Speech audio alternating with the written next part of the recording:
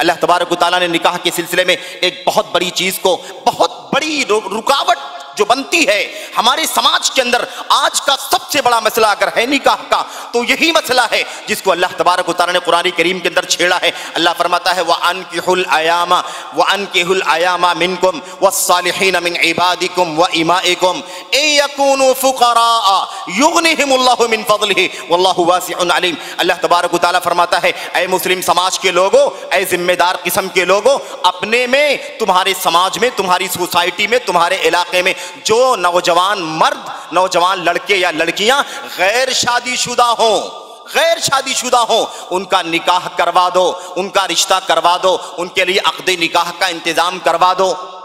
وَالصَّالِحِينَ مِنْ عِبَادِكُمْ وَإِمَائِكُمْ۔ اور صرف آزاد نہیں آزاد نہیں، اگر غلام بھی ہیں، لوڈیا بھی ہیں، لیکن وہ نیک ہیں، صالح ہیں، تو ان کا بھی رشتہ نکاح کر دیا کرو۔ یہ اللہ تبارک و تعالیٰ نے حکم دے دیا ہے۔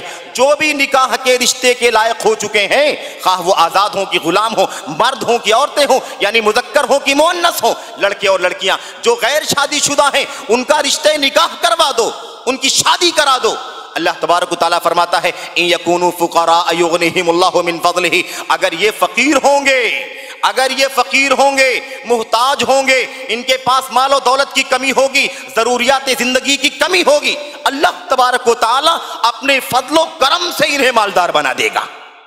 مالدار بننا ہے تو تمہیں نکاح کرنے کا راستہ اپنانا چاہیے۔ لوگ کہتے ہیں، ہمارے پاس ابھی وسائل نہیں ہیں، ہمارے پاس ذرائع نہیں ہیں، ہمارے پاس ابھی انتظام نہیں ہے شادی کا، اس لیے میرے بھائیوں بچیوں کی عمر پچیس سال، تیس سال تک ہو جا رہی ہے۔ پینتیس سال تک پہنچ جاتی ہے۔ بہت سارے لڑکے ہیں جو لڑکے نہ رہے، بوڑھے، بڑھاپے کی عمر کو پہنچ گئے۔ میرے بھائی، یہ اس کے پیچھے بہانہ کیا ہے؟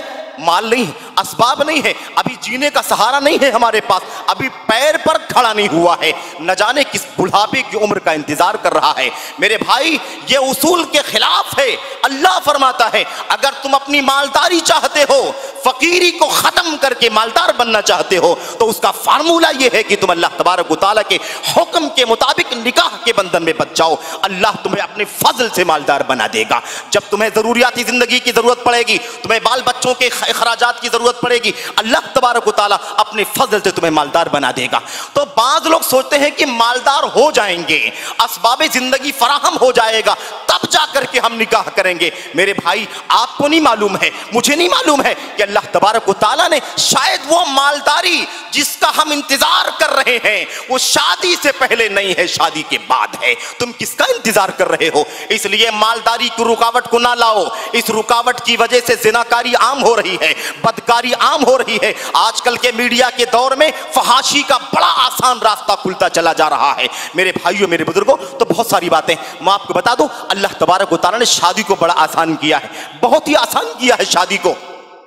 اور اسی لیے آسان کیا ہے تاکہ آسانی کے ساتھ لوگ شادی کر سکیں۔ میں آپ کو رسومات نکاح بتانا چاہ رہا ہوں کہ نکاح میں کیسی کیسی رسمیں ہمارے سماج میں، سوسائٹی میں، مسلمانوں میں درائی ہیں، جس کی وجہ سے شادیاں مشکل ہو گئی ہیں، سنت سے ہٹ گئی ہیں۔ اللہ تبارک و تعالیٰ اور اس کے رسول صلی اللہ علیہ وسلم کے مزاج سے یہ شادیاں اور نکاح کے رشتے دور جا رہے ہیں۔ یہی وجہ ہے کہ نکاح کی برکتیں نہیں ہیں۔ نکاح کے اندر جو رحمتیں پائی جانی چاہیے۔ وہ نہیں موجود ہیں۔ نکاح کی وجہ سے انسانی زندگی میں جو سکون آنا چاہیے، جو راحت پیدا ہونی چاہیے، وہ مفقود دکھائی دیتا ہے۔ آؤ دیکھتے ہیں، شادی کتنی سادی تھی۔ شادی کتنی آسان تھی۔